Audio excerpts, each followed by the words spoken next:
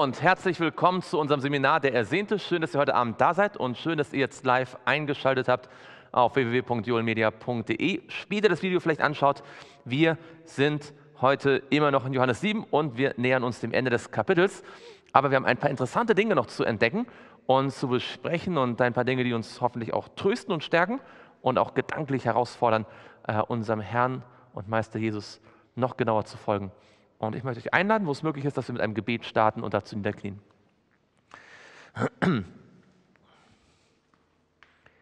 Lieber Vater im Himmel, danke, dass wir dein Wort haben und dass du durch die Evangelien uns zeigst, wie Jesus gelebt hat, wie er gesprochen hat und dass wir von ihm lernen können und dass wir durch die Geschichten sehen, wie Menschen verschiedentlich auf Jesus reagiert haben.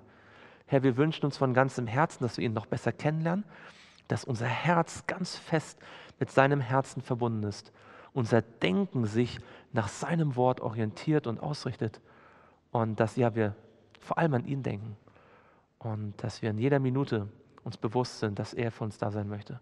Lieber Vater, wir danken dir, dass wir in all dem dein Wirken erkennen können, deinen Charakter und dass in allem, was Jesus gesagt und getan hat, eigentlich du sichtbar wirst. Und so bitten wir dich, dass du uns jetzt durch deinen Heiligen Geist segnest, weil du es versprochen hast. Dafür danken wir dir im Namen Jesu. Amen.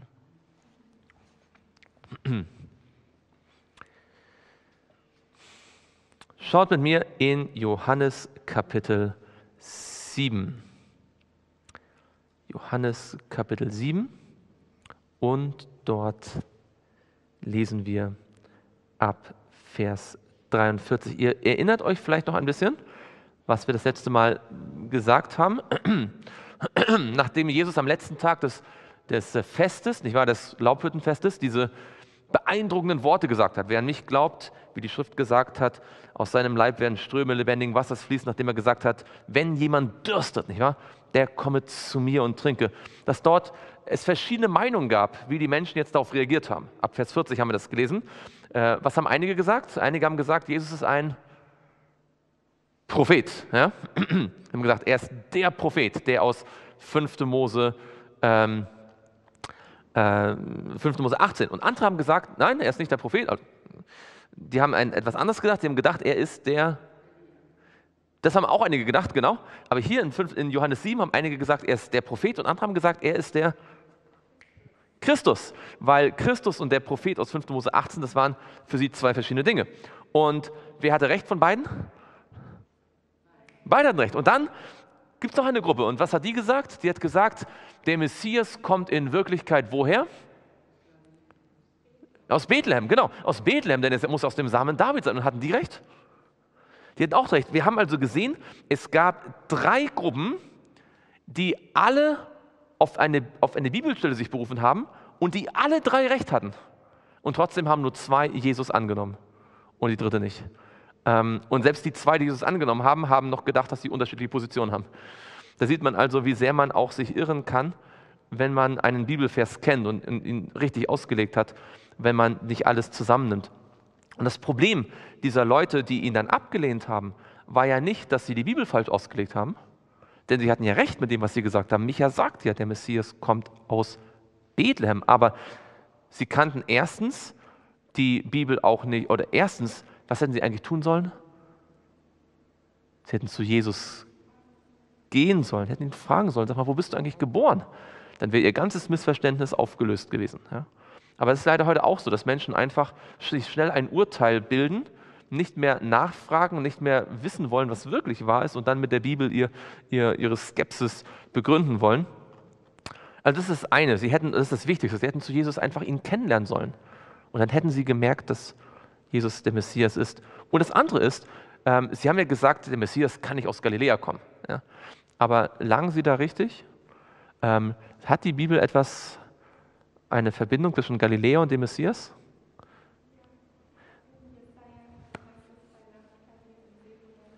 Ganz genau in, in Jesaja 8, nicht wahr? Und dann 9, da wird von diesem, denn ein Kind ist uns geboren, beschrieben, das ist auch der kommende Messias, aber da wird ganz deutlich gesagt, dass in diesem Land der Finsternis, in Galiläa, äh, in, in Sebulon, Naphtali, was ganz früh schon von den, äh, also als eines der ersten von den Assyrern äh, weggenommen worden ist, dass dort das Licht scheinen würde. Das Volk, das im Finstern sitzt, hat ein helles Licht gesehen, ein großes Licht. Und das hätte ihn also zeigen können, der Messias ist zwar in Bethlehem geboren worden, aber er wird in Galiläa leuchten. Ja? Und so entsteht jetzt eine Spaltung. Schauen wir mal in Vers 43. Wer mag mal Vers 43 lesen? Johannes 7, Vers 43.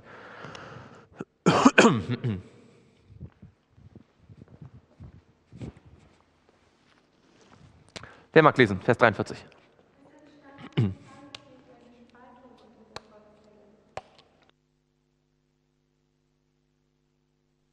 Genau. Es gibt eine Spaltung. Sind Spaltungen gut oder schlecht? Spaltungen sind eigentlich schlecht. Spaltungen kommen nicht von Gott, oder? Im Himmel gibt es keine, also eigentlich keine Spaltung. Aber trotzdem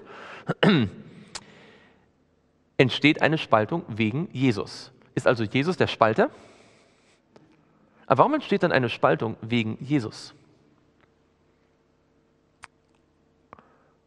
Wo entstand die erste Spaltung wegen Jesus?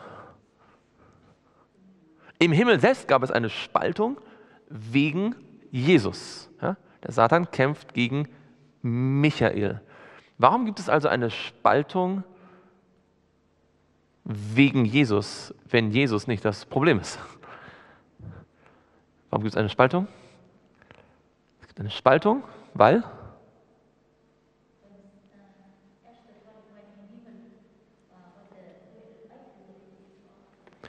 Ja, wegen dem Satan und wegen dem großen Kampf, den er begonnen hat. Weil dieser große Kampf richtet sich gegen Jesus und deswegen wird es, solange es den Satan gibt und solange es die Sünde gibt und solange es den großen Kampf gibt, immer Spaltung geben, wo Jesus ist. Nicht, weil Jesus Spaltung bringt, sondern weil das gesamte Universum gespalten worden ist, sozusagen, unter den Engeln, über die Frage, wer Jesus ist und wie Jesus ist. Und deswegen sagt Jesus ganz deutlich, wo er wirklich in Realität, also der echte Jesus, wo er ist, wird es Spaltung geben. Nicht, weil Jesus sich das wünscht, aber weil hier genau die Konfliktlinie des großen Kampfes lang geht. Schauen wir ganz kurz ein paar Beispiele an in Matthäus. In Matthäus Kapitel 10. Matthäus Kapitel 10, dort Vers 34 und 35. Matthäus 10, Vers 34 und 35. Jesus sagt, ihr sollt nicht meinen, dass ich gekommen bin, gekommen sei, Frieden auf die Erde zu bringen. Ich bin nicht gekommen, Frieden zu bringen, sondern das Schwert. Also, ist Jesus der Friedefürst, ja oder nein? Zeit, ich muss was trinken.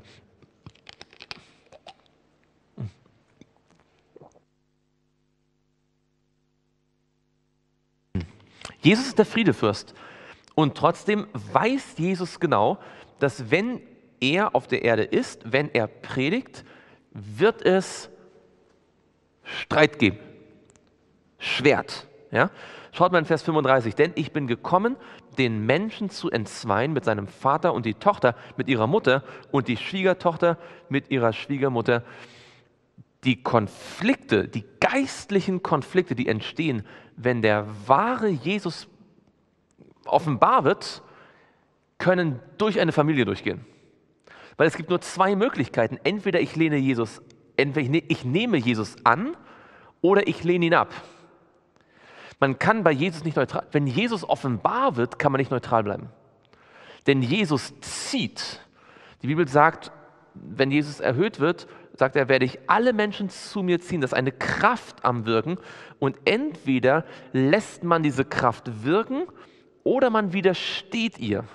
Und diejenigen, die die Kraft wirken lassen, die werden zu Jesus gezogen. Und diejenigen, die dagegen kämpfen, die, werden, die, die stoßen sich von ihm ab sozusagen. Und dadurch entsteht ein direktes Aufeinandertreffen all derer, die zu Jesus wollen und all diejenigen, die sich von Jesus distanzieren. Die werden buchstäblich auseinandergerissen. Und deswegen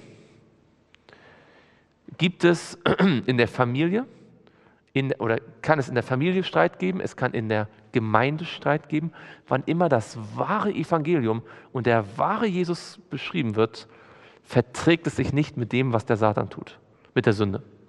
Und das hat Jesus genau gewusst. Natürlich ähm, enorm schade, weil Jesus sich wünscht, dass alle Menschen gerettet werden, aber das ist die Realität des großen Kampfes.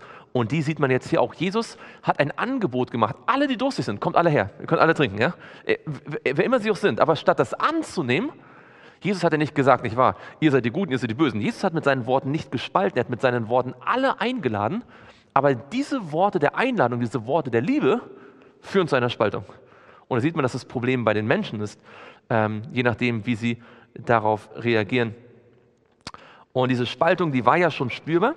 Ähm, als wir Johannes 7 angeschaut haben, schaut mal in Johannes 7 ein paar Verse vorher, in Vers 12, schon bevor Jesus aufgetreten ist ähm, beim Laubhüttenfest, als die Leute alle zusammengekommen waren in Johannes 7, Vers 12, da wird deutlich, dass es eine Spaltung sich anbahnte. In Vers 12 heißt es, es gab viel Gemurmel seinetwegen unter der Volksmenge. Etliche sagten, er ist gut, andere aber sprachen, nein, sondern er verführt die Leute. Ja, die sind also schon mit verschiedenen Ansichten zum Laubhüttenfest gekommen und ich vermute mal, ja, ich habe das jetzt nicht nochmal, äh, weiß nicht, ob, das, ob man das rauskriegen könnte, aber ich vermute mal, dass diejenigen, die schon eher positiv eingestellt waren, auch entsprechend positiv eingestellt blieben und dass ein Großteil derer, die schon mit Vorurteilen kamen, eher dann abgestoßen äh, gewesen ist. Das ist oft leider so, dass Menschen ihre Meinung nicht mehr ändern. Das ist eine ganz, ganz tragische Sache. Wenn Menschen erstmal anfangen, sich eine Meinung gemacht zu haben, sie oft nicht mehr in der Lage sind oder nicht mehr bereit sind, sich vom Gegenteil überzeugen zu lassen, auch wenn es wahr ist. Ähm, das ist ähm, eigentlich eine ganz. Ich, ich, ich, erinnere mich, der Eugene Pruitt hat uns mal eine Geschichte erzählt. Er war ja Lehrer äh, an einer adventistischen Schule und hat da folgende Geschichte erzählt. Die äh, ist eigentlich sehr ernüchternd. Er hatte eine Klasse, eine Schulklasse, weiß nicht, ob ich es schon mal erzählt habe, eine Schulklasse, und er hat sie unterrichtet äh, und hat ihnen eine Hausaufgabe gegeben. Und die Hausaufgabe war, er wusste, es gibt unter den Eltern von den Schülern einige, die der Meinung waren, man sollte den Zehnten lieber an irgendwelche Missionare geben und an irgendwelche, sag ich mal, unabhängige Gruppen.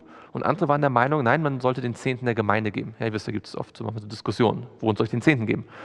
Und er wusste genau, welche Eltern wie denken. Welche Eltern der Meinung waren, na, man kann den Zehnten irgendwo hingeben. Und einige Eltern haben gesagt, nee, nee, der Zehnte gehört zur Gemeinde. Und er hat jetzt den Schülern, den Kindern die Aufgabe gegeben, waren schon ein bisschen älter, sie sollten einfach anhand der Bibel einmal herausfinden, äh, und das begründen, ob man den Zehnten der Gemeinde geben soll oder irgendwo anders hingeben kann.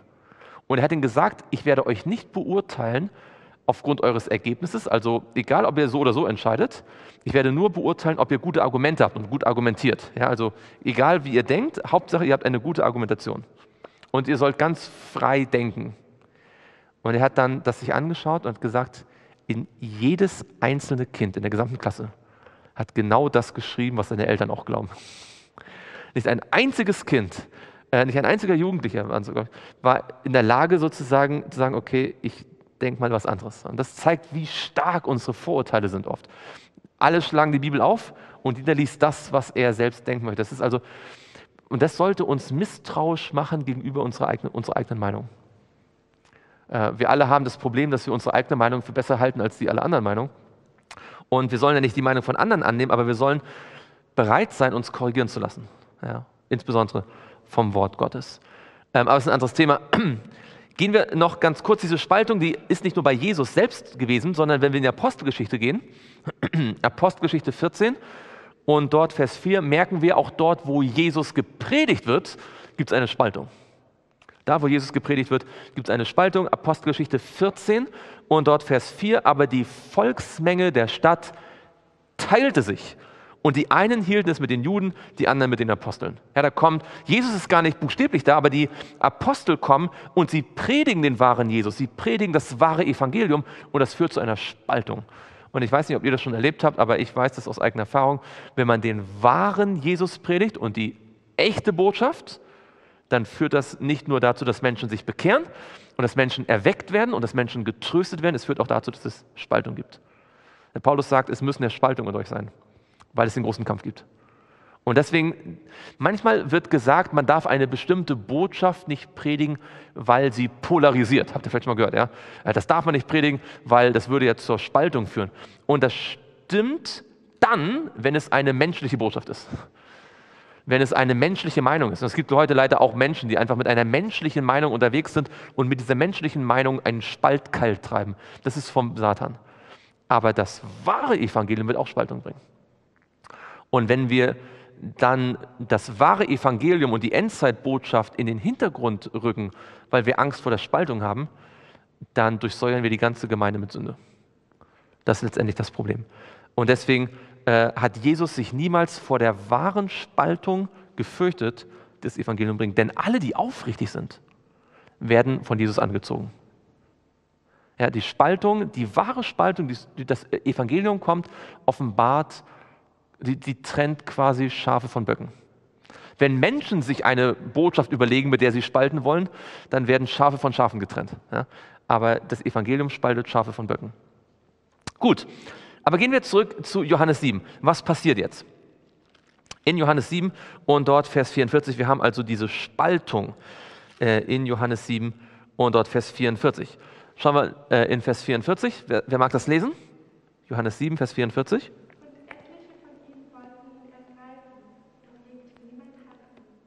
Genau, das haben wir schon mal gelesen, oder? Schaut mal ein bisschen früher in Vers 30. Da heißt es, da suchten sie ihn zu ergreifen, aber niemand legte Hand an ihn, denn seine Stunde war noch nicht gekommen. Welche Stunde ist damit gemeint? Die Todesstunde. Nämlich, dass er in einem, und wie viel Zeit würde noch vergehen bis zu seiner Todesstunde? Ein halbes Jahr, genau. Es war noch ein halbes Jahr. Es waren jetzt drei Jahre um von Daniel 9, aber Dreieinhalb Jahre müssten es sein. Ja? Und es gab viele, die sich gewünscht haben, dass er festgenommen wird, die sogar äh, ihn entsprechende Pläne gelegt haben. Wir haben ja auch gelesen schon in äh, Vers 32, dass er sie Diener abgesandt haben, die ihn ergreifen sollten. Ja?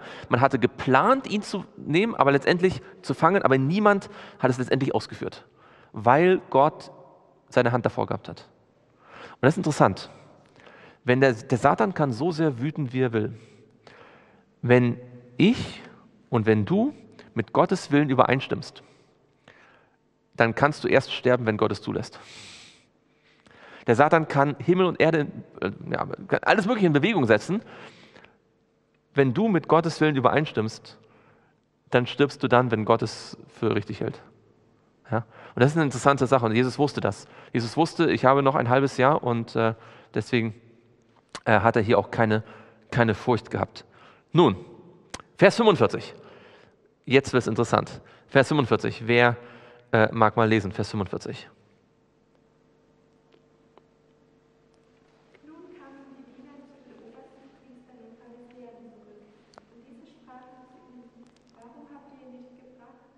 Genau, also das ist das, was wir gerade gesagt haben in Vers 32. Ja, die, die, die obersten Priester hatten eigentlich sogar sich vorgenommen, wir ergreifen ihn jetzt. Ja? Und haben sogar Knechte losgeschickt, die jetzt tatsächlich den Auftrag, die hatten Haftbefehl. Ja, Jesus steht dort im Laubhüttenfest in Jerusalem und wird mit Haftbefehl gesucht. Also das war wirklich eine gefährliche Situation. Da sieht man, wie sehr sie ihm schon nach dem Leben getrachtet haben. Und äh, sie kommen jetzt zurück, ja, und zwar ohne ihn, ja. Und äh, die wundern sich ja, warum habt ihr nicht gebracht? Was ist, was ist los? Und jetzt die Antwort ist ganz außergewöhnlich. Was geben sie als Antwort. In Vers 46. Was ist die Antwort? Wer mag mal lesen? Vers 46.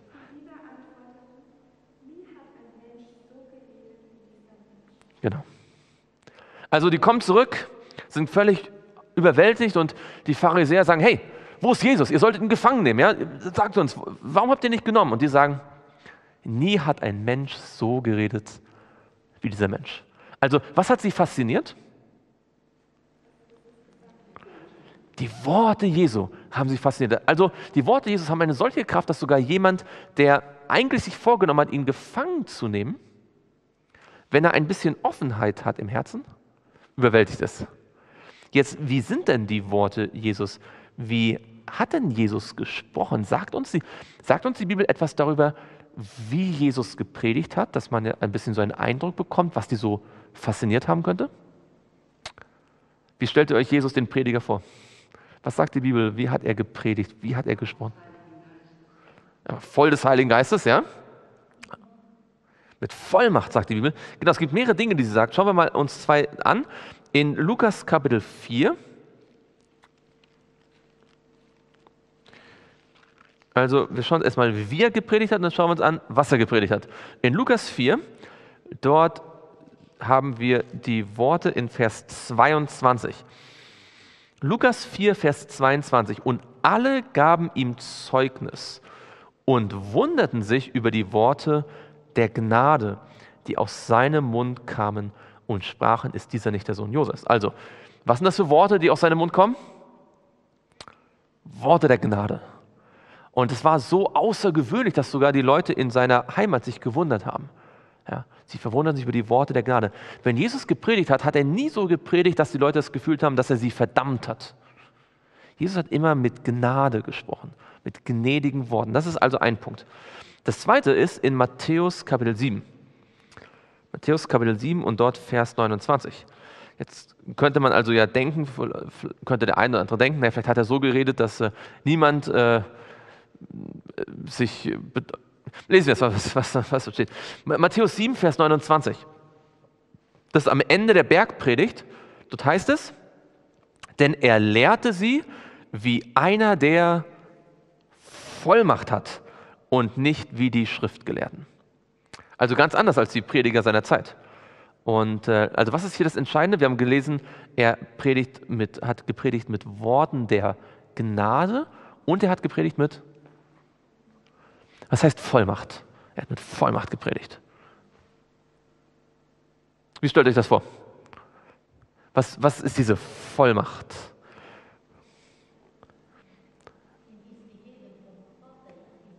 Ja, genau, also das ging nicht ohne den Vater, werden wir gleich noch anschauen. Was, was heißt, was hat Vollmacht bewirkt? Also was hat das auf den, was für einen Eindruck hat das auf den Hörer gemacht, wenn jemand mit Vollmacht predigt? Das geht ins Herz. Genau. Jesus hat nicht gepredigt gesagt, naja, also hier ist der Text und es könnte das bedeuten, es könnte auch das bedeuten. Ja, und äh, hier habe ich noch gelesen, es könnte auch das bedeuten. Die Experten sind sich uneinig, ja. So, Jesus hat gesagt, es steht geschrieben. Ja? Er hat das Wort gepredigt, so wie es ist, mit Überzeugung und nicht mit, es könnte sein, es könnte auch nicht sein. Die Pharisäer, die waren anders, ja, die haben so gepredigt, ja, hier Rabbi so und so sagt so und so und Rabbi so und so sagt so und so, ja, und das war halt zum, zum Einschlafen, ja, und irgendwie. Aber Jesus hat mit Klarheit und mit Deutlichkeit gepredigt, mit Gnade, aber mit Überzeugung. Und die beiden Dinge sind interessant. Wenn Jesus gepredigt hat, war es äh, nicht wischiwaschi, es war mit Kraft. Aber es war nie so, um die Leute zu zerstören und zu verdammen, sondern um sie aufzubauen. Ja, es gibt ja manchmal auch Leute, die predigen zwar mit Vollmacht, ja, Boom, ja, aber man hat das Gefühl, man wird eher erschlagen, als dass man aufgebaut wird. Die Leute hatten nie das Gefühl, dass wenn Jesus gepredigt hat, dass sie erschlagen worden sind. Ja, die, die, die, die, die, die äh, Soldaten kommen nicht zurück und sagen, pff, das war ganz schön heftig, ja, der hat uns an die Wand gepredigt. Das sagen die nicht. Die sagen auch nicht, ah, das war irgendwie so ein bisschen so blumig. Die sagen, das war beeindruckend, das war kraftvoll, aber mit Gnade. Und das ist, glaube ich, das Ideal, das Jesus uns vorgelebt hat, wie wir auch ähm, die Botschaft verkündigen sollten. Und jetzt, was hat er gesagt? Das gucken wir uns ganz kurz äh, nur an in Jesaja 50, weil das finde ich so beeindruckend. Jesaja 50 und dort Vers 4, das ist eine messianische Prophezeiung, Jesaja 50 und dort Vers 4, dort heißt es, Gott der Herr hat mir die Zunge eines Jüngers gegeben. Was ist ein Jünger? Ein Schüler.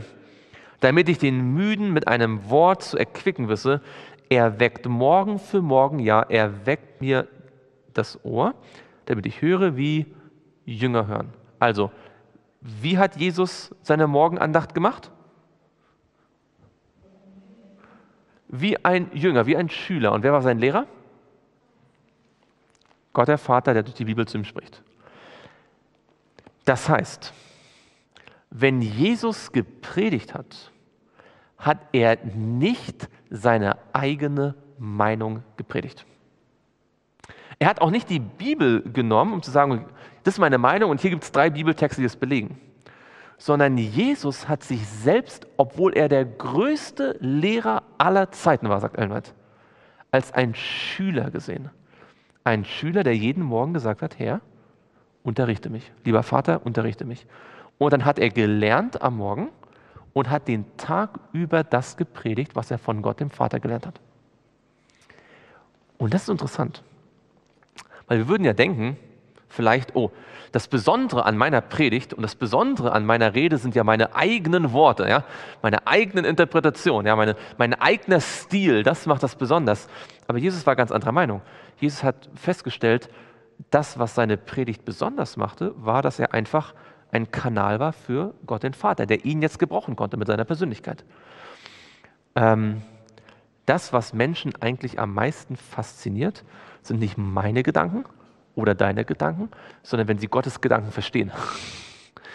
Und dafür gibt es eigentlich Predigten, dass der Zuhörer nicht meine Gedanken oder die Gedanken von irgendjemandem anderen erfährt, sondern besser verstehen kann, was Gott selbst denkt. Und dazu müssen wir, die wir das Wort weitergeben, ob jetzt in einer Predigt, in einer Bibelstunde, in einem Hauskreis, in einem Gespräch an der Tür, egal wo, wenn wir das Wort Gottes weitergeben, haben wir die allergrößte Kraft, wenn wir tatsächlich weitergeben, was wir gelernt haben und nicht unsere eigene Meinung sagen. Und das ist auch, glaube ich, so ein bisschen meine Sorge in der jetzigen Zeit, dass viele wohlmeinend ihre eigene Meinung kundtun über das und über jenes und meinen, sie müssen äh, die Welt mit einer bestimmten Botschaft erreichen, die sich selbst zusammen recherchiert haben.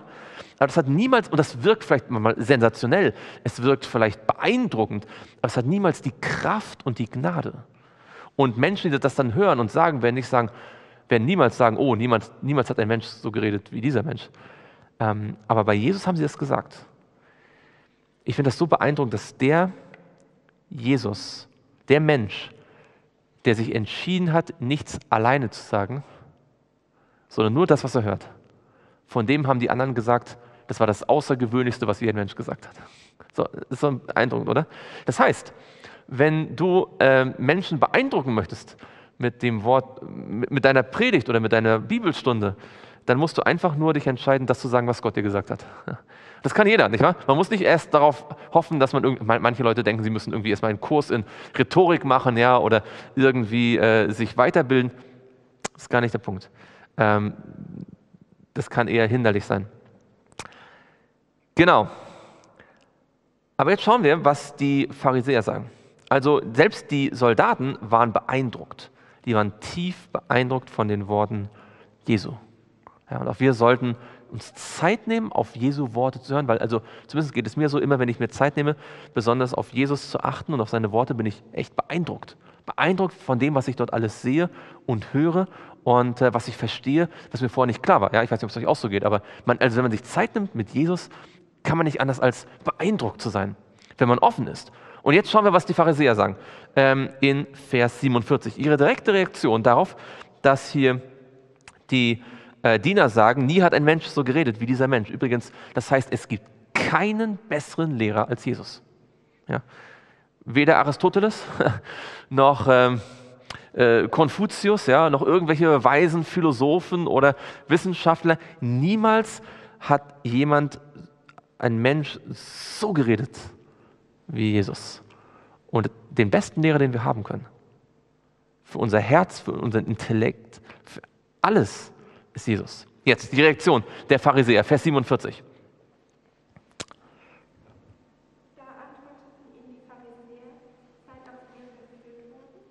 Genau, seid auch ihr verführt worden. Das heißt, also was lernen wir über die Pharisäer an dieser Stelle? Was sagt uns das über die Pharisäer, diese Antwort? Wenn, hm? Sie denken, dass Jesus ein Verführer ist. Ja? Ähm, sie halten Jesus für einen Verführer und ähm, das heißt, wie offen sind sie noch für seine Worte? Sie sind nicht nur, also ich meine, das sind ja Leute, jetzt ihre eigenen Leute, die sagen, hey, sag mal, also das, das solltet euch mal anhören, ja? Schau, schau mal hier, ja.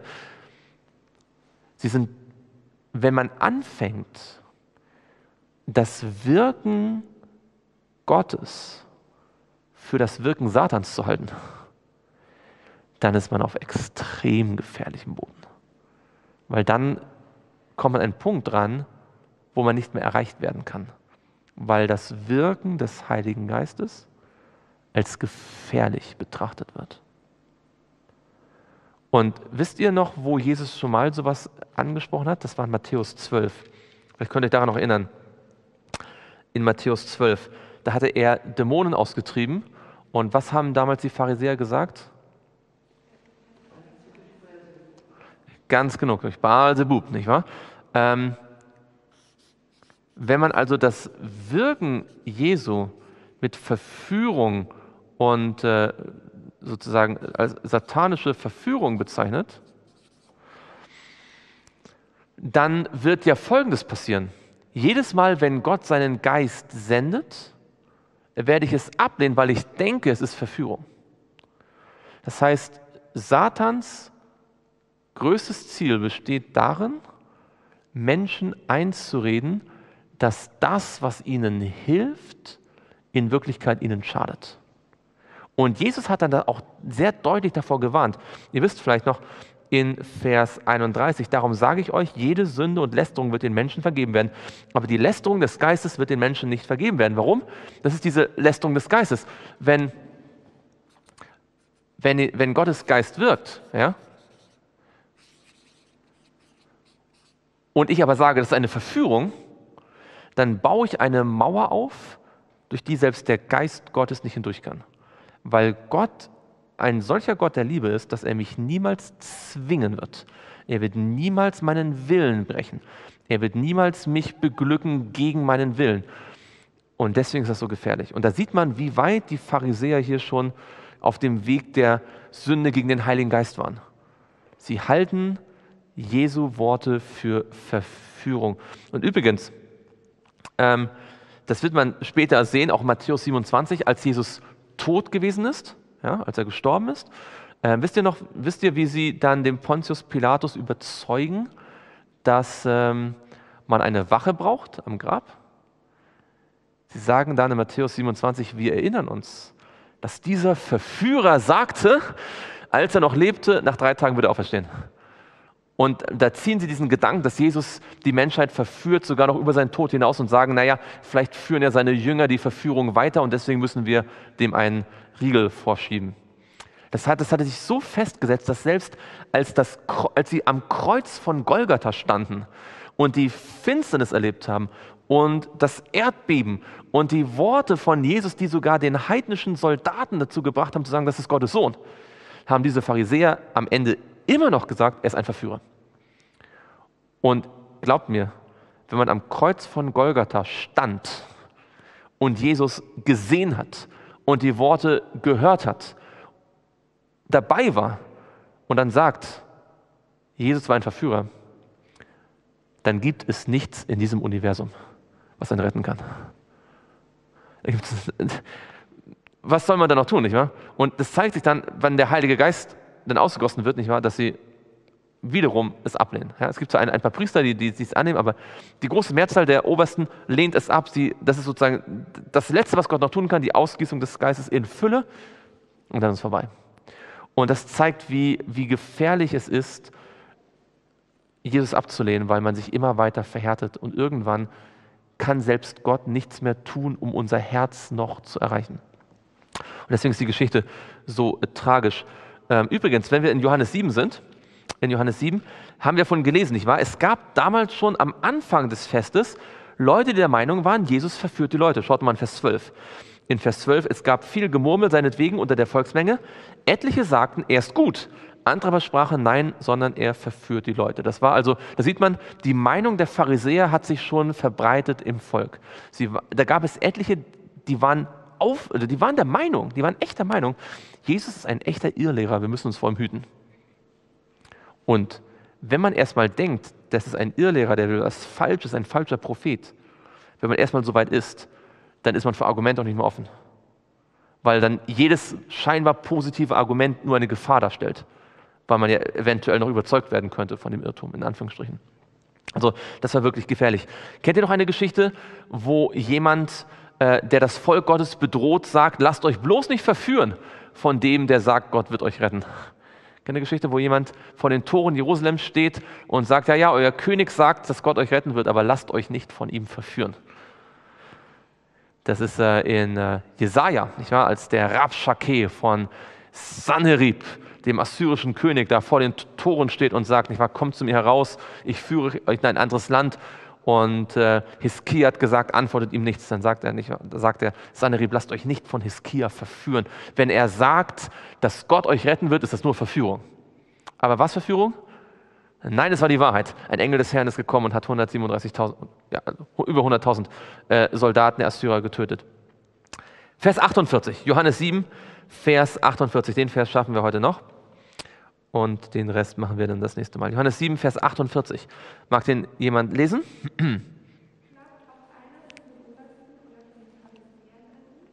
Genau. Glaubt auch einer von den Obersten oder von den Pharisäern an ihn? Wie nennt man so eine Frage? Was ist das für eine Frage? Hm? Oh, das ist Zweifel, ja? Und wie nennt man diese Art von Frage? So. Also, wollen die eine, wollen die eine Antwort hören? Ja, genau das, ist, genau, das ist der Inhalt. Das ist eine rhetorische Frage, oder? Das ist eine, eine rhetorische Frage, die deutlich macht, niemand von den Obersten, niemand von den Gelehrten, niemand von den Theologen, von den Studierten, von der, von der Elite, von der Creme de la Creme, niemand von denen glaubt an ihn. Stimmt das? Fast aber nicht ganz, werden wir nächstes Mal sehen. Ja, da, gibt, da taucht gleich jemand auf, der zu den Allerhöchsten gehört, der äh, sagt, hm, ähm, ja, aber da kommen wir das nächste Mal zu. Aber Sie fragen, glaubt einer von den, übrigens, im Griechischen heißt es eigentlich wörtlich, glaubt einer von den Obersten an ihn? Oder etwa von den Pharisäern? Also es geht erst um die Obersten und das ist die rhetorische Frage, natürlich nicht. Und etwa von den Pharisäern? Auch nicht. Ja, das ist eigentlich so, so in zwei Stufen gedacht, weil es natürlich mehr Pharisäer gibt als oberste Priester. Und schaut mal in Vers 26. Da haben wir auch wiederum gesehen, wie stark der Einfluss der, der Obersten auf das Volk ist. Und siehe, er redet öffentlich und sie sagen ihm nichts. Haben etwa die Obersten wirklich erkannt, dass dieser in Wahrheit der Christus ist? Ja, die Volksmenge, die hat sich gefragt, ja, äh, wie stehen die Obersten zu ihm? Für, die, für viele Menschen war es wichtig zu wissen, was sagt der und der dazu. Und es gibt es heute auch noch. Es gibt heute noch viele Menschen, die glauben etwas, weil es Bruder X gesagt hat. Oder sie glauben etwas nicht, weil Bruder Y davor gewarnt hat. Und sie werden nicht die Zeit sich nehmen, oder sie nehmen sich nicht die Zeit, zu schauen, was die Bibel selbst sagt. Ja, und das ist eine echt gefährliche Sache. Also die Elite glaubt hier nicht an Jesus und hält sich für den Maßstab. Was hatte Jesus darüber gesagt? Schaut mal Matthäus 11. Matthäus 11 und dort Vers 25. Das ist ganz interessant, weil Jesus hat natürlich das Kommen sehen. Ähm, glaubt ihr, dass das heute auch noch so ist? Dass viele Menschen, die sehr intellektuell begabt sind und sich für was besonders Kluges halten, dass sie Jesus nicht erkennen? Ich glaube, es ist heute noch genauso. Matthäus 11, Vers 25. Zu jener Zeit begann Jesus und sprach, ich preise dich, Vater, Herr des Himmels und der Erde, dass du dies vor den Weisen und Klugen verborgen und es den Unmündigen offenbart hast hast. Also was sagt Jesus über Gott den Vater?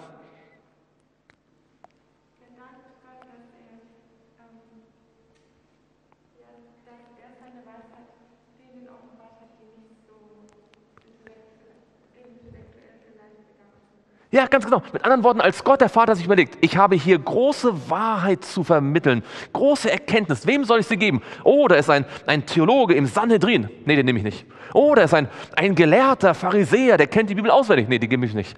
Da ist jemand, der ist, der ist ganz klug in, in, in, in, in, in Gesetzestexten. Dem gebe ich sie nicht. Aber da ist ein Fischer vom See Genezareth. Dem gebe ich diese Wahrheit. Den lasse ich sie erkennen. Wir denken manchmal, dass man erst eine besondere Ausbildung braucht, um besondere Wahrheiten von Gott zu erkennen. Aber das, was Petrus erkannt hat, nicht wahr, als Jesus sagt, ähm, das hat dir der Vater im Himmel offenbart, das hat er nicht gelernt im Theologiestudium, auch nicht an einer Schule, das hat er gelernt, indem er Jesus nachgefolgt ist. Und das bedeutet für uns, erstens, es ist nicht so entscheidend, wie viel ich intellektuell weiß oder kann. Entscheidend ist, dass ich Jesus nachfolge.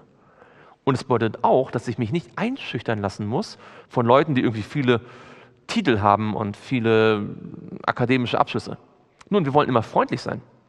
Und wenn sich ein Theologe zu Jesus bekehrt, dann ist es eine Kraft, nicht wahr? Also es gibt ja so Paulus, ja, der hat nicht umsonst über die Hälfte der neutestamentlichen Briefe geschrieben. Also wenn ein Theologe sich zu Jesus bekehrt, doppelt gut. Ja? Aber lieber ein Bauer mit Jesus als ein Theologe, der nur die Bibel kennt, aber nicht Jesus. Und das ist total entscheidend für uns, dass wir das verstehen. Paulus hat das verstanden. Paulus, der selbst so theologisch gebildet war, hat genau gewusst, dass es nicht darauf ankommt, wie groß die intellektuellen Fähigkeiten sind. Schaut mal in, 1. Korinther 1, Vers 20. Die Welt hat so ihr System, nicht wahr? Man muss sozusagen ähm, einen, einen Abschluss nach dem anderen machen, um irgendwie so, nicht wahr, immer, immer angesehener zu sein. Aber schaut mal, was Paulus sagt in 1. Korinther 1 und dort ab Vers 20. 1. Korinther 1, Vers 20. Und das ist eine ziemlich beeindruckende Passage. Es lohnt sich, das genauer zu studieren. Dort sagt er, wo ist der Weise? Wo der Schriftgelehrte? Wo der Wortgewaltige dieser Weltzeit hat nicht Gott die Weisheit dieser Welt zur Torheit gemacht? Also zur Zeit von Paulus gab es ja kluge Leute, es gab Philosophen, es gab Rhetoriker. Ja, die Griechen waren, waren Meister in der Rhetorik, in der Dialektik, in der Philosophie, in der Wissenschaft. Ja. Die Römer kannten sich, hatten enorme Fähigkeiten, was so juristisches Denken angeht. Es gab die, die, die Theologen in Jerusalem. Und Paulus, der das alles kannte und wusste, und man weiß ja auch, man merkt ab und zu, dass er wirklich auch sehr gebildet war. Man, man sieht, wie er theologisch argumentieren kann. Man sieht, wie er auch äh, griechische Philosophen kannte. Er sagt, wo sind die jetzt? Ja? Keiner von denen hat Jesus erkannt. Keiner von denen hat uns äh, irgendwie zu Jesus gebracht. Das, was wirklich wichtig war im Leben, haben die alle nicht verstanden. Und dann sagt er in Vers 21, denn weil die Welt durch ihre Weisheit Gott in seiner Weisheit nicht erkannte, gefiel es Gott durch die Torheit der Verkündigung, diejenigen zu reden, retten, die glauben. Also er sagt, die alle menschliche Philosophie, alle menschliche Wissenschaft, so wertvoll sie für sich genommen sein mag, kommt nicht dazu, Gott zu erkennen. Und deswegen kann Gott sie nicht gebrauchen. Stattdessen gebraucht Gott die Predigt. Die törichte Predigt. Ja? Also die Torheit der Verkündigung. Übrigens nicht die Verkündigung von Torheit. Das ist ein Unterschied. Ja? Gott hat die Torheit der Verkündigung gegeben, aber nicht die Verkündigung von Torheit. Wir sollen keine Dummheiten predigen, aber wir predigen ist jetzt nicht etwas, was angesehen in der Welt ist, oder? Ähm, und dann heißt es in Vers 22, während nämlich die Juden ein Zeichen fordern und die Griechen Weisheit verlangen, verkündigen wir Christus den Gekreuzigten, den Juden ein Ärgernis, den Griechen eine Torheit, denen aber, die berufen sind, sowohl Juden als auch Griechen, verkündigen wir Christus Gottes Kraft und Gottes Weisheit. Ja, also, was er sagt ist, ähm, die Griechen, die wollen Weisheit haben, die wollen Philosophie haben. Und wenn Sie dann eine Predigt hören, sagen Sie, das ist ja nur, das ist ja nur eine Predigt, ja, wo sind da die Fußnoten, ja? wo, sind da die, die, wo, ist da der, wo ist da die Dissertation, wo sind die gelehrten Kommentare, ja, das ist ja, das ist zu billig, zu einfach. Aber er sagt, alle, die aufrichtig sind, die hören plötzlich die Weisheit Gottes. Die merken, dass das, was gepredigt wird, das Wort Gottes, stärker und tiefer ist und eigentlich viel intellektuell ansteckender sozusagen oder äh, stimulierender als alle Philosophie. Es ist Gottes Weisheit. Und das ist das Kuriose, dass die größten Erkenntnisse der Menschheit nicht von den Klügsten gegeben werden, sondern von den Treuesten. Die größten Erkenntnisse, die ein Mensch erlangen kann, bekommen nicht die, die besonders klug sind, sondern die, die Gott besonders lieben. Und das ist was, wo Paulus sich so freut. Denn er kennt ja beide Seiten, er kann das beurteilen. Und ähm, dann sagt er hier, Übrigens das Gleiche ist mit der Kraft, nicht wahr? Ähm, die, die, die, die Juden wollen immer Zeichen, weil sie irgendwelche Kraftwirkungen sehen wollen, aber Jesus ist die eigentliche Kraft, das ist das eigentliche Wunder. Er ist Gottes Kraft. Und dann in Vers ähm, 25, denn das Törichte Gottes ist weiser als die Menschen. Und das Schwache Gottes ist stärker als die Menschen. Seht doch eure Berufung an, ihr Brüder. Da sind nicht viele Weise nach dem Fleisch, nicht viele Mächtige, nicht viele Vornehme, sondern das Törichte der Welt hat Gott erwählt, um die Weisen zu Schanden zu machen, und das Schwache der Welt hat Gott erwählt, um das Starke zu Schanden zu machen. Das hat mir mal vor vielen Jahren schon sehr viel geholfen, diese, dieser Abschnitt, um deutlich zu machen, das hat mir geholfen zu verstehen, Gott braucht nicht viele, nicht starke, nicht kluge, er braucht Menschen, die ihn lieben. Und wenn Menschen ihn lieben, kann er durch sie Dinge erreichen, die auch durch die Klugen und die Starken und die Mächtigen und die Reichen nicht erreichen kann. Und deswegen ist es wichtig, dass wir Jesus kennen und uns nicht auf Menschen verlassen. Das ist so entscheidend. Und dass wir uns auch nicht schämen, weil wir sagen, ach naja, bei uns in der Gemeinde sind jetzt nicht so viele Kluge oder nicht so viel Gebildete oder nicht so viele Reiche und nicht so viel Angesehene und nicht so viel Einflussreiche, sondern wir sind vielleicht nur ganz gewöhnliche Menschen.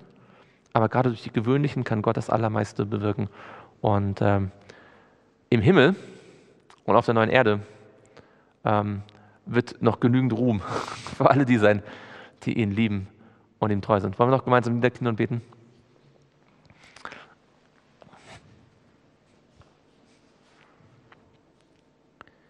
Lieber Vater im Himmel, wir möchten dir von ganzem Herzen Dank sagen, dass wir sehen können, wie Menschen auf Jesus reagiert haben.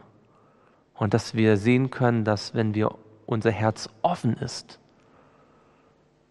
wir Worte der Gnade und der Vollmacht von Jesus hören können. Und Herr, wenn wir ehrlich sind, dann wissen wir, durch nichts in dieser Welt, durch kein Buch, durch keinen Menschen, durch keine Worte von irgendjemandem sind wir so in unserem Herzen angesprochen worden, wie durch das, was Jesus uns schon in unserem Leben gezeigt hat. Und ihm wollen wir folgen von ganzem Herzen. Und ganz egal, ob viele oder wenige ihm folgen, ob Reiche oder Arme, Kluge oder Bauern, Herr, du weißt genau, was wir persönlich brauchen. Und bei dir ist alle Weisheit. Und so wollen wir alles, was wir sind und haben, unsere Fähigkeiten, unsere Gaben und Talente in deine Hand legen und dich bitten, dass du uns gebrauchst zu deiner Ehre. Das bitten wir im Namen Jesu. Amen.